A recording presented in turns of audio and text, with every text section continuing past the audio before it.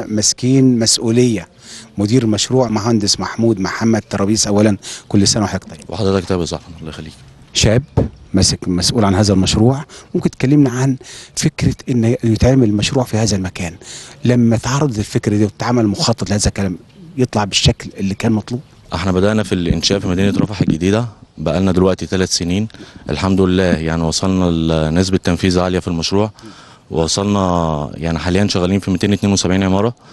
آه مقسمينهم على ثلاث مراحل. المرحلة الأولى 41 عمارة تم الانتهاء منها بنسبة واحد بنسبة 100% المرحلة الثانية 43 عمارة تم الانتهاء منها بنسبة آه 90% المرحلة الثالثة 188 عمارة تم الانتهاء منها بنسبة 42% بجانب العماير ده يا أستاذ أحمد آه، إحنا معانا دلوقتي خدمات آه، بحيث إن نقدر آه، يعني تغطي المشروع وت إيه هي؟ عندنا محطة صرف تمام؟ تغطي المدينة بالكامل عندنا محطة كهرباء عندنا كهرباء وصرف عندنا غاز طبيعي حاليا شغالين فيه عندنا خطوط اتصالات شغالين أول مرة يبقى هنا غاز طبيعي ولا أصلا موجود؟ لا لأول مرة. حاليا لسه بادئين فيه تمام؟ آه خطوط غاز طبيعي تشمل المدينة بالكامل. عندنا برضو شبكات اتصالات آه شغالين فيها دلوقتي. تمام. آه في برضو مباني خدمية. مثلا عندنا حضانتين هنا. آه مساحة الحضانة الواحدة 300 متر. عندنا مسجد داخل المشروع. عندنا مسجد برضو هنا 200 مصلى. تمام. عندنا نقطة إطفاء نقطة شرطة. عندنا مخبز آه، آلي لل- للأهالي طبعا. تمام. آه كافة الخدمات آه موجو- موجودة موجود في هنا مستشفى موجود مدرستين هنا تمام؟ فكافة الخدمات موجودة يعني. إيه ال- إيه ال- لما جيت تشتغل في هذا المشروع حضرتك الأول منين؟ أنا من البحيرة يا أستاذ أحمد. من البحيرة. نعم. كل اللي معاكم شباب منين؟ لا إحنا معانا من كافة المحافظات يعني معانا بس الغالبية طبعا العظمى هنا لأهالي شمال سيناء. بنسبة يعني 50% ممكن نقول أهالي شمال سيناء.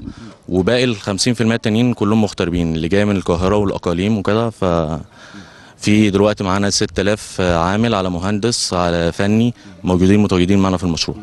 آه، شبكة طرق ما تربط بباقي ال- المدينة أو المدن المجاورة أو العريش أو غيره المحافظة وغيره بالفعل في شبكة آه، في شبكة طرق موجودة هنا. تمام إحنا على بعد 8 كيلو من من الحدود الحدود الدولية. تمام آه في شبكة طرق طبعا بتمدنا لحد مدينة زويد وب- وبالاستكمال بتوصل لحد مدينة العريش.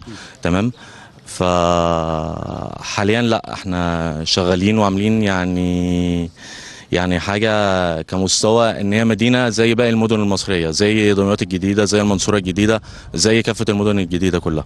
لما المشروع ده موجود هنا في رفح واللي كان والإرهاب واللي كان بيحصل جماعات وواخدين حق يعني كنت قلقان لما جيت.